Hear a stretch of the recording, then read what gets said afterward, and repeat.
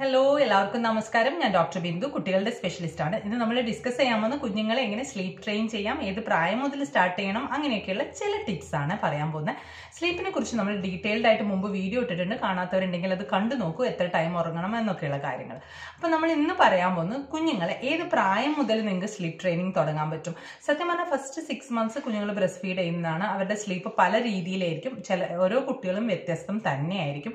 ആ സമയത്ത് അതുപോലെ പോട്ടെ ആറ് മാസം കഴിയുമ്പോൾ നിങ്ങൾക്ക് പതുക്കെ സ്റ്റാർട്ട് ചെയ്യാം. ഏറ്റവും നല്ലത് ടോഡ്ലേഴ്സിനാണ് ടോഡ്ലേഴ്സ് എന്ന് പറഞ്ഞാൽ ഒരു വയസ്സ് മുതൽ മൂന്ന് വയസ്സ് വരെയുള്ള കുഞ്ഞുങ്ങളെ നിങ്ങൾ നിർബന്ധമായിട്ടും ഇത് സ്റ്റാർട്ട് ചെയ്യണം. അതിൽ ഏറ്റവും ഇമ്പോർട്ടന്റ് പോയിന്റ് ഒരു ഫിക്സഡ് ആയിട്ടുള്ള ടൈം വെക്കുക രാത്രി ഒമ്പത് മണിക്കുള്ളിൽ തന്നെ കുഞ്ഞുങ്ങളെ ഉറക്കും എന്നുള്ള നിർബന്ധമായിട്ടും വെക്കുക രാവിലെ ഒരു ഏഴ് മണീന്റെ ഉള്ളിൽ ഉണർത്തും എന്നുള്ള രീതിയിലും നിങ്ങൾക്ക് വെക്കാം അല്ല കുഞ്ഞുങ്ങൾക്ക് കുറച്ചുകൂടി നേരത്തെ ഉറക്കാൻ പറ്റുന്നുണ്ടെങ്കിൽ അത് നല്ലതാണ്. ഏഴ് മണിയൊക്കെ ആകുമ്പോൾ ഉറക്കാൻ പറ്റുന്നുണ്ടെന്നുണ്ടെങ്കിൽ അത് വളരെ നല്ലതാണ്. അതിനനുസരിച്ച് നിങ്ങൾ ഉണർത്തുന്ന സമയം അഡ്ജസ്റ്റ് ചെയ്തിട്ട് വെക്കുക അത് എല്ലാ ദിവസവും ഒരേപോലെ ആക്കാൻ ശ്രമിക്കുക. പിന്നെ നിങ്ങൾക്ക് അവർക്ക് അതിന്റെതായ ഒരു റൂം കൊടുക്കുക.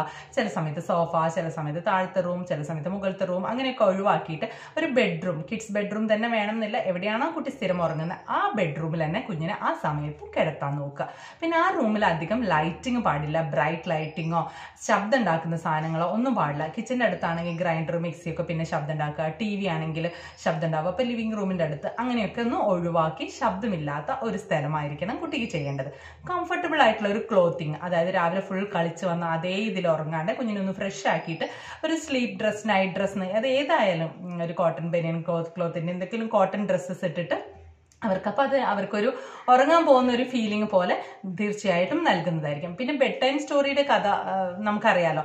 വളരെ സഹായിക്കും കുഞ്ഞുങ്ങൾക്ക്. ചെറിയ കുട്ടികളാകുമ്പോൾ ചെറിയ ചെറിയ കഥകളായിട്ട് വലുതാകുമ്പോൾ അതിനനുസരിച്ചുള്ള സ്റ്റോറികൾ മാറ്റി മാറ്റി പറഞ്ഞു കൊടുത്ത് കുറച്ച് നേരം ഒരു ബെഡ് ടൈം സ്റ്റോറീസ് നമ്മൾ ആദ്യം വായിച്ചു കൊടുക്കുക. പിന്നെ അവർ വായിക്കാൻ തുടങ്ങുന്ന പ്രായമാകുമ്പോൾ അവരെ കൊണ്ട് വായിപ്പിക്കുകയും ചെയ്യുക. അത് വളരെ നല്ല ഉപകാരമായിരിക്കും.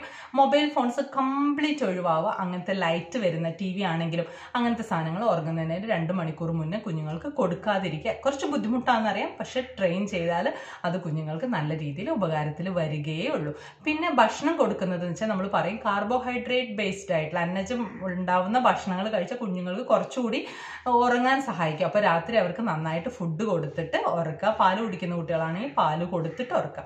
പിന്നെ അമ്മമാരുണ്ട്. ബ്രസ്റ്റ് ഫീഡ് ചെയ്തുകൊണ്ട് ഉറക്കുന്ന ചില അമ്മമാരുണ്ട്. അതാകുമ്പോൾ പിന്നെയും ബുദ്ധിമുട്ടാവും. നിങ്ങൾക്ക് വേറെ എവിടെയും മാറി നിൽക്കാൻ പറ്റാതെയാവും. നന്നായിട്ട് ഫീഡ് ചെയ്തോളൂ ഫുഡ് കൊടുത്തോളൂ. അതിന് ശേഷം തോളത്ത് കിടത്തി ഉറക്കുന്ന ഒരു ശീലം ഉണ്ടാക്കിയിട്ട് പിന്നെ ബെഡ് കിടത്ത് അങ്ങനെ വേണമെങ്കിൽ ചെയ്യാം.